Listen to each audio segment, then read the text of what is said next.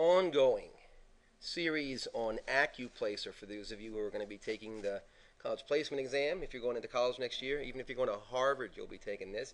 So it says if n cubed times the quantity opposite of one third to the power of n minus one is the nth term of the sequence, then what is the fourth term of the sequence? Well, if they're saying that, then obviously, therefore, n is equal to 4. So this is FITBA, right? Fill in the blanks. Sometimes that's what you're going to get. Just fill in the blanks. So that's what we're going to do. We're going to fill in the blanks. We're going to have 4 cubed times 1 third. 4.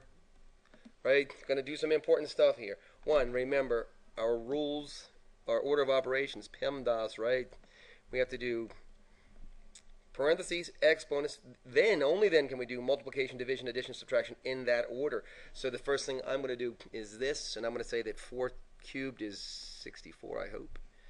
Negative 1 third to the 4 minus 1 is to the third power, isn't it?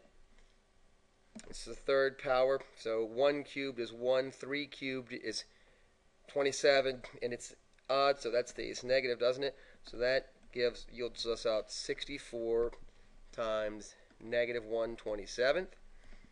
Now we're going to do our multiplication part, and we're going to get negative 64 over 27 as our final answer, I believe, isn't it? Well, that's not bad. Good work, you guys, and I, I hope this is helpful. You got to be really quick on these things so you get placed in the correct course. I mean, if you get placed in some college algebra course, it's going to drive you nuts. So uh, hopefully this is helpful.